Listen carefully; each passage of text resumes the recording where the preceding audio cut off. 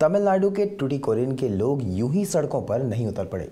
यूँ ही नहीं वो लाठियाँ गोलियाँ खाने के बावजूद पीछे हटने को तैयार नहीं है।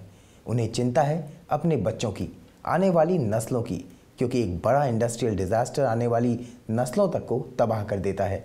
एक नज़र देश के बड़े इंडस्ट्रियल डिजास्टर्स पर।